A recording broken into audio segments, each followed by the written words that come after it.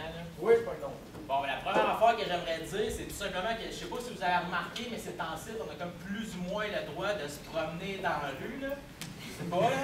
C'est juste nous qui l'a vu. C'est quoi? C'est 650 quelques arrestations depuis le 15 mars 2013. C'est quand même énorme. Donc, qu'est-ce qui est le fun? C'est que l'étudiant socialiste est en train de renouer avec une belle tradition du mot ouvrier que les Français, avant 1914, appelaient des meetings, que les ouvriers canadiens-français ou canadiens-anglais appelaient des débats contradictoires, et que les ouvriers euh, anglo-saxons appellent encore aujourd'hui des rallyes politiques, c'est-à-dire d'utiliser le droit de réunion pour parler et faire de la politique. je voulais commencer par souligner ça, parce qu'on est quand même plus que 50 officiellement aujourd'hui, ça c'est clair.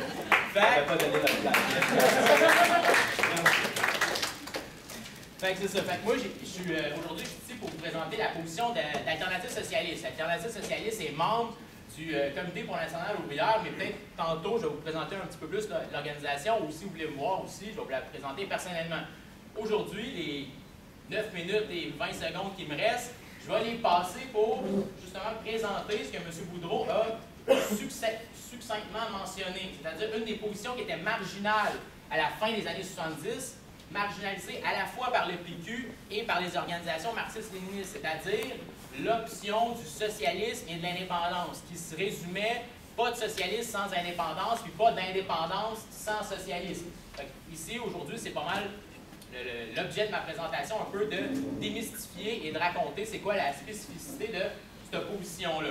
Le premier point qui était pourquoi, en fait, on trouve ça, on a trouvé ça important de faire un débat aujourd'hui, et pourquoi je trouve ça important de vous parler de cette nuance-là, c'est que j'ai 28 ans, ça fait à peu près 10 euh, ans que je fais des manifs, et dans certaines manifestations, j'ai vu souvent, souvent, souvent des individus qui manquaient légèrement de jugement ou à tout le moins d'esprit, de nuance, que tu voyais par exemple peut-être en 2003 ou en 2004, dans les débuts de la CIE, tu pouvais voir par exemple un individu avec un drapeau du Québec se faire littéralement expulser de la manifestation, se faire traiter de fasciste. Ou même plus récemment, euh, à la manifestation du Plan Nord, vous avez des individus du réseau de résistance du Québécois qui étaient complètement tout seuls dans leur coin, quand le reste de la manif était vraiment à l'opposé, ils ne voulaient vraiment pas les suivre. Ou dans une autre protestation qui était la marche au, au flambeau, c'était quoi? C'est les jeunes patriotes? Oui, c'est Par les jeunes patriotes qui étaient un peu, qui avaient été gangrénés par des fascistes d'extrême droite, des vrais, et donc, les anarchistes ont réagi, mais le problème, c'est que de part et d'autre, il y a plus ou moins une nuance entre un indépendantiste de gauche et de droite, entre un facho et un républicain, etc., etc.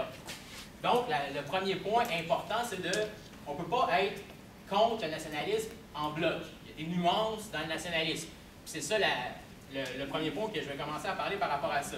Les socialistes sont internationalistes, donc théoriquement anti-nationalistes. Ça, c'est le point théorique. Mais à la limite, le point théorique est plus ou moins important. C'est un, concept flou. Il faut quand même désarticuler, pas désarticuler, mais en fait déconstruire le concept de nationalisme. Historiquement, les socialistes ont fait la première distinction entre le nationalisme des nations exploiteuses et le nationalisme des nations opprimées. En fait, les, socialistes étaient beaucoup plus favorables au républicanisme irlandais qu'au chauvinisme britannique orangiste. Vous voyez un petit peu la nuance. La deuxième nuance des nations opprimées, en fait, c'est que vous avez un nationalisme clairement beaucoup plus à gauche, comme mon camarade ici présent, et vous avez des nationalistes des nations opprimées beaucoup plus à droite. Par exemple, le nationalisme flamand aujourd'hui est clairement campé à droite et borderline fasciste. Mais, par exemple, au Pays Basque, le nationalisme basque est ouvertement socialiste depuis la République espagnole de 1936. Déjà là, c'est deux nuances importantes. Concrètement, comment ça peut s'articuler? Pour vous donner un exemple sur le, comment les sections du Comité pour l'international du Comité pour ouvrière abordent cette question-là et ces concepts-là, on va donner deux, trois exemples concrets. Là, je vais prendre une shot d'eau parce que c'est ouais. non, mais deux. Cinq minutes? Ah, en fait, grosso modo, le CIO est né en 1974. Les sections fortes, importantes, c'était l'Irlande, l'Angleterre, l'Écosse et l'Irlande du Nord. Qu'est-ce qui se passe en Irlande du Nord dans les années 70? Les troubles nord-irlandais, les bombes de l'IRA. La position du CIO était de condamner les attentats terroristes de l'IRA, de condamner les, exactions des milices protestantes et de condamner l'occupation britannique de l'Irlande du Nord. Et mais prônait l'unification des communautés des ghettos protestants et catholiques dans un mouvement ouvrier puissant contre les puissances impériales et contre les classes possédantes, qu'elles soient protestantes ou catholiques. En Belgique, je l'ai mentionné, le nationaliste flamand, les camarades belges ne sont pas nécessairement partisans de la, euh, sécession de l'État fédéral belge. Pourquoi? Parce qu'une des grandes poussées nationales présentement en Belgique, c'est le, nationalisme flamand qui est farouchement de droite et un des, arguments pour détruire l'État fédéral belge, c'est de les Flamands ne payeront pas pour les euh, chômeurs wallons. Vous voyez qu'il n'y a pas nécessairement d'idéal progressiste là-dedans. Par exemple, les sections du Sri Lanka, là, la position est différente. Le CEO, les camarades du du Sri Lanka ont toujours appuyé farouchement le droit à l'autodétermination du peuple tamoul. C'est bon? Mais là, on est quand même relativement loin de la situation québécoise.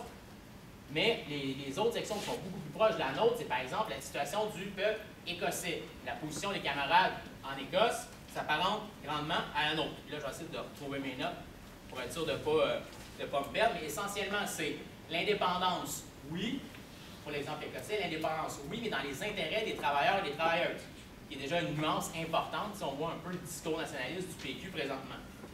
Le deuxième aussi, c'est une main tendue vers les autres nations autour. C'est-à-dire que vous ne pouvez pas uniquement dire que vous êtes pour l'indépendance, puis pas vous préoccuper du voisin à côté, ou du même dans le, pays encore dans lequel vous pouvez. Donc, vont prôner une fédération des États indépendants socialistes de Grande-Bretagne, ce qui est la position quand même la plus proche de l'alternative socialiste et même des organisations euh, socialistes révolutionnaires dans le milieu des années 70. Donc là, il me reste combien de temps? Pour le Québec? Trois minutes pour le Québec. On va y aller, on va y aller. C'est bon? Donc, pour la, situation québécoise, en fait, pourquoi les socialistes sont favorables à, l'indépendance du Québec? L'indépendance du Québec est peut-être un des trucs qui peut faire le plus chier les bourgeois anglo-saxons, c'est bien l'indépendance du Québec. c'est le premier point. Juste uniquement pour menacer le pouvoir des classes dominantes, qu'ils soient francophones ou anglophones, juste pour ça, ça vaut le coup. Le deuxième point, c'est que toute révolution peut émaner de n'importe quelle crise politique. C'est clair que si une indépendance est proclamée au Québec, ça va entraîner une situation d'instabilité. Les socialistes et la gauche et les progressifs ne peuvent, peuvent pas l'ignorer ou pas tenter d'anticiper le coup déjà à la base. Aussi, le concept, ce qui est, différent d'aujourd'hui, c'est aussi le fait d'être méfiant par rapport à la collaboration de classe. Souvent, il y a plusieurs indépendantistes qui vont dire on va faire l'indépendance d'abord, puis le projet de société, on verra ensuite.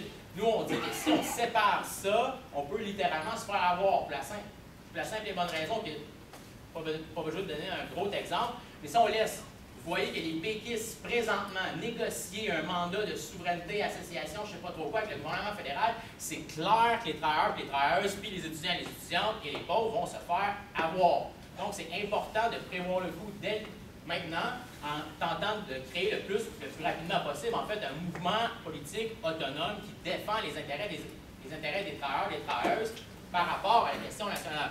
C'est pas pire? Faut-tu trop vite? Ouais, un peu, hein? Mais.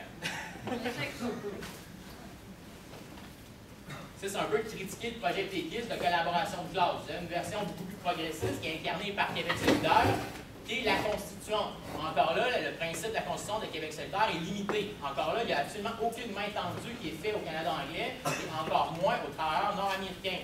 Le problème, c'est que ça risque, comme c'est le cas présentement, de solidariser la classe ouvrière canadienne-anglaise avec ses propres classes précédentes plutôt que tenter de solidariser les travailleurs québécois avec les travailleurs canadiens. Et étant donné qu'il me reste une minute, désolé pour les nuances, on ira pour euh, les questions par après. Je vais y aller avec la, position telle qu'elle, qui n'est pas encore adoptée, mais qui ça devrait tourner autour de ça, l'alternative socialiste. C'est la création de, euh, la mobilisation la plus vaste possible des travailleurs québécois dans un mouvement politique de masse et autonome ayant pour premier objectif de défendre les intérêts des travailleurs que ce mouvement-là prend une part active, une position sur la question de la constituante, mais aussi qui décide, qui porte une main tendue au travers du Canada anglais et que cette indépendance-là, ça c'est important, vais finir là-dessus, vise à détruire l'État fédéral canadien, qui est quand même antidémocratique à la base, est vicié depuis 1967, pour recréer une alliance entre les différents États autonomes, une différente alliance entre États autonomes, autochtones, canadiens, québécois et anglophones, soient essentiellement, idéalement, républicaines et socialistes. Ça? Parfait. C'est bon.